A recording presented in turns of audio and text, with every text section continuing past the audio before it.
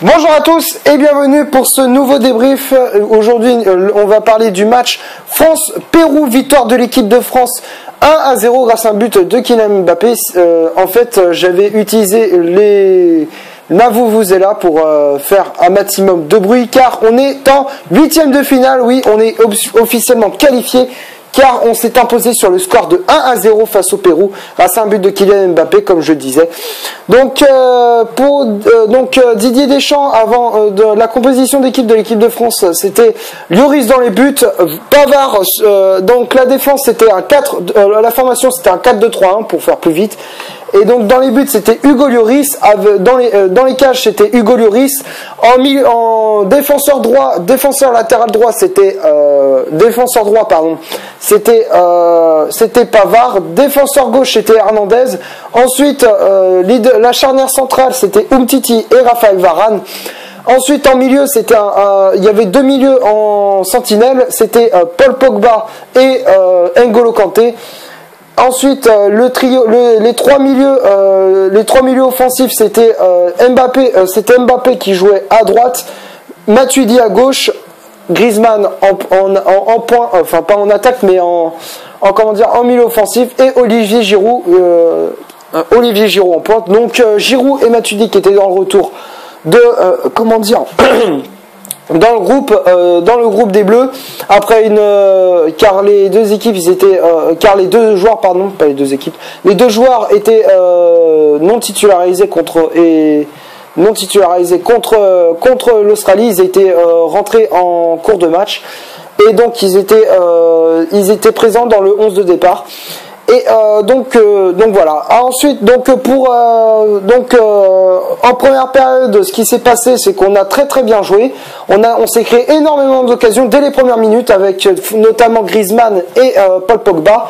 Qui Paul Pogba je trouve qu'il était meilleur sur ce, ce match-là contre que contre l'Australie. L'Australie a été un peu euh, comment dire pas fantomatique, mais je dirais qu'il était un peu absent quand même sur certaines actions. Et donc du coup, euh, là, il était, et donc là, il a répondu présent, et, ça, c'est, ça, c'est cool. Donc euh, ensuite, euh, pour comment dire, ensuite, il y a eu donc en première période, on a très bien joué. Et il fallait attendre la 4 34e minute de jeu pour que l'équipe de France euh, euh, ouvre le score avec une récupération de balle de Paul Pogba dans les pieds d'un Péruvien. Derrière, passe en profondeur de Pogba pour Giroud, la frappe de Giroud détournée par le gardien. Et derrière, c'est Mbappé qui la dévie.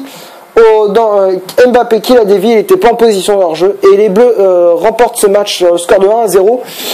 Après, pour dire, euh, pour te dire, dans la seconde période, on a, je trouve qu'on a baissé un peu le rythme. On a subi pendant au moins 20, euh, une bonne demi-heure les actions péruviennes avec euh, beaucoup de frappes lointaines et ça, soit Hugo Lloris s'interposait, soit ça a été, euh, soit ça passait au-dessus de la barre du gardien, euh, du portier français. Donc après, euh, donc après, il fallait attendre la 78e minute de jeu, je crois, dans les 20 dernières minutes du match, pour que l'équipe de France euh, euh, marque, euh, pas marque, mais euh, euh, inscrit euh, une occasion. En fait, c'était euh, avec notamment euh, Ousmane Dembélé qui a été rentré en cours de jeu euh, qui a été rentré en cours de jeu, tout comme Nabil Fekir. Après, pour euh, euh, tout comme Nabil Fekir, que je trouve Fekir n'a pas été, euh, comment dire, en jambes, même s'il a s'est créé une ou deux occasions, mais bon, je trouvais que, euh, bon, même s'il était rentré en fin de match, je trouve qu'il n'a pas réellement brillé.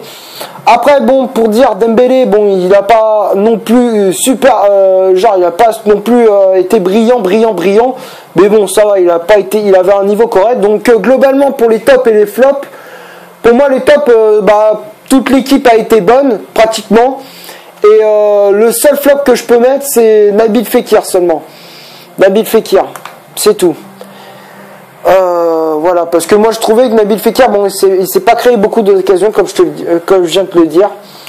Mais sinon, ça a été, mais sinon globalement l'équipe de France a été très bonne face au Pérou, même si on a baissé un petit peu le rythme dans ce, en seconde période.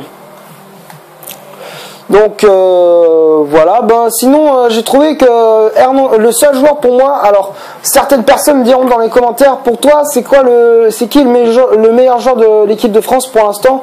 Celui qui t'a montré, euh, qui a été, euh, qui a été euh, le, plus convaincant depuis le début de la Coupe du Monde. Et ben pour moi, le, celui qui a été plus convaincant pour l'instant, c'est Lucas Hernandez car et Benjamin Pavard.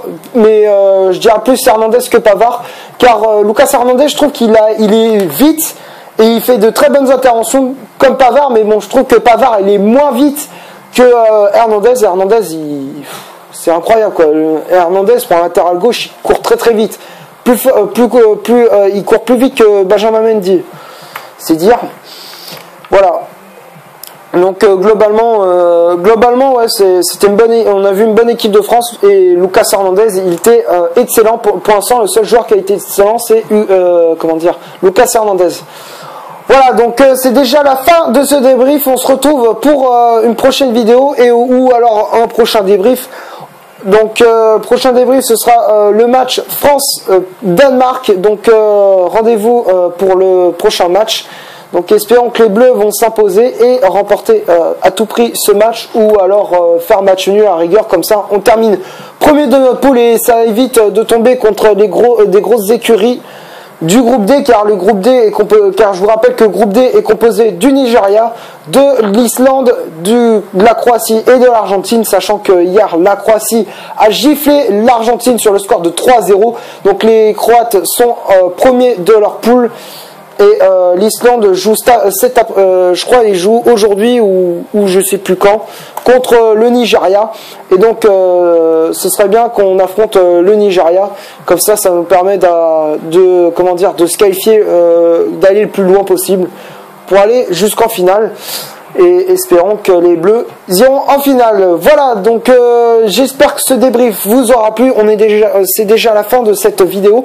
J'espère qu'elle vous aura plu. Si c'est vous, si c'est le cas, vous laissez un énorme like, vous vous abonnez sur cette chaîne.